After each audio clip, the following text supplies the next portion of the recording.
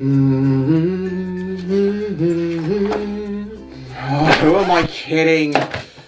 There's no episodes anymore. Why aren't they coming out? I've been waiting too long. What's the point in living? Faolan Wildpaw.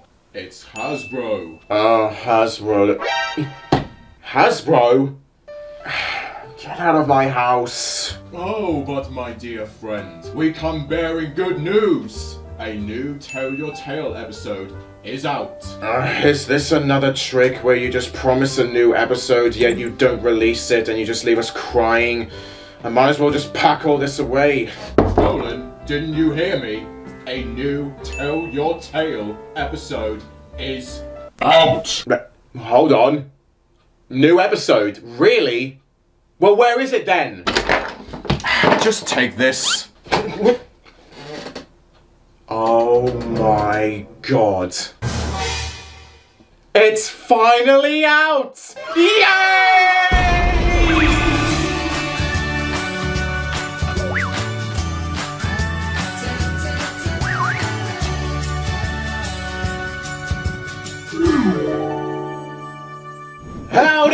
Fluffbutts, it's me, Follow More Point Contest Code, and welcome back to the Tell Your Tale reactions! Jeez, oh my god, I feel like it's been so long since I last did a reaction. Like, how long has it been? Like, almost a month? I am just so happy and relieved that we've got a brand new episode out. So, we're going to be reacting to the 44th episode, which is called Secret Ad-mare-er by Tom Gidman. Of course, from the thumbnail, this is probably going to be a Hearts and Hooves Day special episode. And yep, I'm all dressed for the occasion. I'm wearing all pink. Also, if you can see right here, we have some MLP Generation 5 Pezzes. I found these in the local grocery store and I just decided, fuck it, I'm gonna have them. Shame that they didn't have Zip and Hitch though. Where are they? So how about we just get rolling? Guess what? It's the mouse. It's finally back for another episode. So you're lucky, mouse, because all I'm going to be giving you today is a good smack of the fist. Let's begin! Hey, wake up, Izzy! She's got such a wacky eye mask, but come on, wake up! It's time for a new episode! Yeah, that's an upstate. I get that. I guess that's survived the apocalypse. You're A-okay, because it's a new episode day. Let's go! Hmm, Zip, what are you watering right there? I love that plant pot she's got. Oh, I hope Zip sends like a letter to Hitch. Happy Hearts and Hooves Day, buddy. She, she doesn't feel that confident. She instantly friend zoned her. These flowers that open up and have tiny little boxes of chocolate. Oh, I imagine that. Why is it? Oh, I guess she's got like a scientific admiration for them. Mother Butterfly is already terrified of it. It's not even grown yet. I'm not that into Hearts and Hooves Day. Yep, predictable. She's like the tough girl who doesn't need a man. She's already dressed like Cupid. Oh, look at that choker around her. I should have worn my necklace today. Miss Snipsalot doesn't look that happy about the confidence of Izzy. Oh, what's your... That's her, like, imagination. What? Did I just... Hey, look, there's Luby's Pony Soda. Yeah, she sold that away. Uh, that's a very good cameo. But look, this is something out of Pinkie Pie's mind. It's all wild. Yeah, it doesn't look that festive, don't you think? No one loves Hearts and Hooves. Oh, that's a bit tragic. Is she going to, like, forcefully give it around? Hello, Posy. I've missed her as well. God, no one loves Valentine's. Oh, come on, Posy. At least have a heart. Hey, Fifi. God, how fast is she running? Oh, God, just break. What are you doing? Uh, oh, I love Hitch getting splattered with any kind of food. Oh, whoa. I hear a song. Yes! I'm so glad there's a musical in this one. Yeah, this is like a rock and roll Valentine's. Yes! Whoa, shit. Better be careful. Spreading the lab. Oh, this is my ideal song. Because this is all about me. Get her hitch. Ah, not even the animals are loving Valentine's. What what a disaster this is. Oh. Wait, Misty and Opaline. I guess Misty loves it. Oh no, you don't, little girl. You will not appreciate the love. Oh no, Izzy, don't do that. I'm sure someone appreciates it. Oh.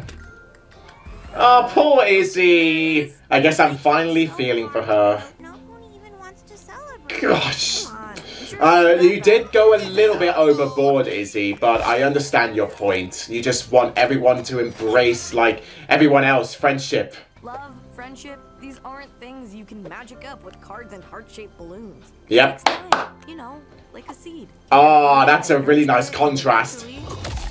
okay, look at that evolution for a Venus flytrap. Oh no! Oh, thank God that it survived. It spat it out. Doesn't like its meal. Oh, and love can blossom like a flower. Right. This episode is incredibly cheesy, but I love it. Oh, it had twins! Hoof to heart for hearts and hooves. Hoof to heart. Yeah, that's what I love to see. This episode was a total win. So, have you got your eye on any ponies? Any secret crushes? Oh, let me hear it. You can go on dates and it'd be really cute. We don't love it. Now I know who you're. I know who you're thinking about. Zip, Hitchy boy. Oh, and the critters got along after all. At least someone had a heart. Woo! What a glorious return back to Tell Your Tale. This episode rocked for Izzy. Secret Ad-mare-er. God damn, I think this might be Izzy's best episode so far. Or maybe second best to like all that jazz. I think these I think those two episodes are coinciding together with the best, because damn, they emphasized Izzy's character so on point, and it even made me feel emotional for her a bit at the end. Like, Ah, that's how you should display Izzy in the spotlight. Just give her all of that wackiness and wildness to her character and the craftsmanship of how of all of her interests, and maybe go a little bit overboard, but not too much that it just becomes unbearable and cringeworthy. This episode displayed it in the correct way. I really love the contrasting messages in this episode because it addressed both sides of like Valentine's Day. Because you know, on one side you've got all the couples and the relationships that are all happy together and they're celebrating with all with all wonder, and then you've got like the single people and the people that just want like more more of a friendship than a lover because you know they don't really want all of that jazz. It was very passionate of Izzy to try and at least shine a little love around Maretime Bay so that everyone doesn't have to be so miserable and downhearted on a holiday that's in general meant to be so positive for like everyone involved and not just those who are in love because you know it's all about coming together and we're just sharing the love between each other. It doesn't have to be restricted between just couples and best friends. Everyone in the world can feel loved and not just yourself and not those who are just got no one in mind. And yeah, it may have been a bit cheesy and a little too much on the nose in this episode because it was pushed so much in front of our faces the entire time. But I can appreciate for what this episode was trying to do because yeah, I think this episode was one of the happiest we've ever had. And once again, Izzy and Zip make quite the interesting duo in this episode because we've seen them before in Taking Flight and yet again in this episode, they worked so awesomely together. I know they aren't a ship at all and no, I wouldn't really consider them to be a ship because I think Izzy would be a bit too much for Zip because yeah, I think she should be paired with Hitchy Boy. But I do love them as best friends because they contrast and they like spread out from one another. They do have like different like passions, but they understand one another and they can easily use each other for like more motivation for doing the right thing. Zip did have a sunny moment at the end with the Venus flytrap and it's starting out as a seed and then eventually at the end it just blossoms into a proper plant and she used that to display the message of friendship and how people can be loved without the need for like excessive amounts of passion being spread around the whole place.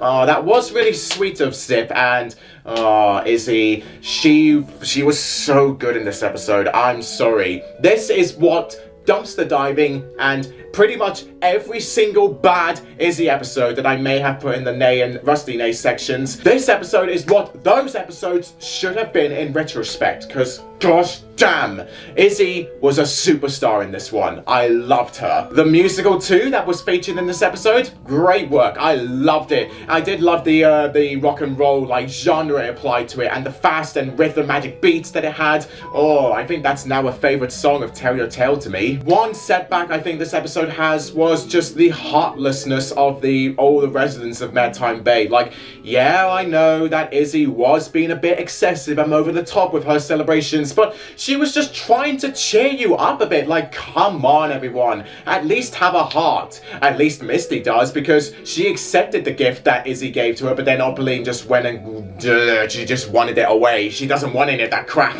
Secret Ad-mare-er? I would say that you were a good episode. You will probably go somewhere within the yay section. It's either a low yay or maybe a high average. It'll be in between those two. It was certainly not a nay, definitely not. And you will see for yourselves right away with my 5 Tell Your Tale episode rankings here.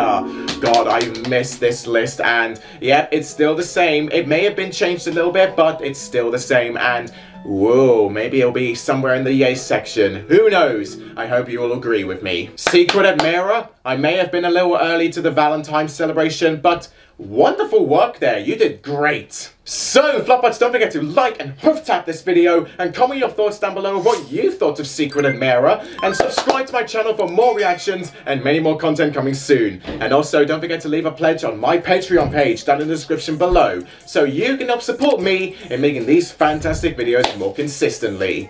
And I shall see you all very soon. Goodbye!